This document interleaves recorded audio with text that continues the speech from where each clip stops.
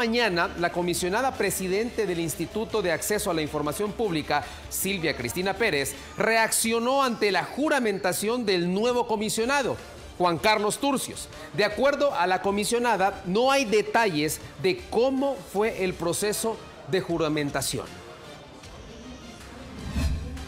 No hemos tenido ninguna información adicional más que esa que nos han proporcionado ellos de manera directa, pero estamos esperando la comunicación oficial de parte de Presidencia de la República, sobre todo considerando que el procedimiento de elección, según lo dice el artículo 74 del reglamento de la ley de acceso, que debe de ser pública todo el proceso. Hacemos a, eh, a, cabalidad cómo ustedes eligen a, en las gremiales a sus representantes.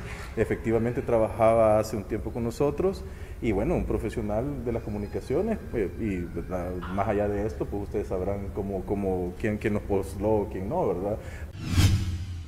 Y por cierto, esta mañana se realizaron tres de cuatro audiencias que estaban programadas en el Instituto de Acceso a la Información Pública. Entre esas audiencias estaba la solicitud de información patrimonial del presidente de la República, Nayib Bukele, mientras fungió como alcalde de San Salvador y Nuevo Cuscatlán.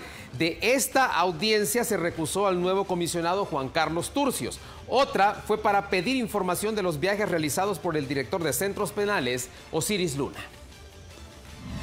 Eh, la audiencia que se está por desarrollar en este momento es una audiencia de un caso de protección de datos personales, por lo tanto no tiene acceso a la prensa.